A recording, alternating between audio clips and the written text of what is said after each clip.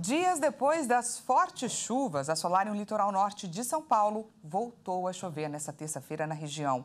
E os trabalhos de resgate continuam. O mais recente balanço do governo estadual da Defesa Civil confirma a morte de 48 pessoas, há mais de 50 desaparecidas.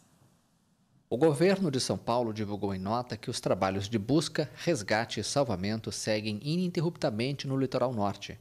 No fim de semana, bairros inteiros ficaram debaixo d'água e casas foram arrastadas por deslizamentos de terra.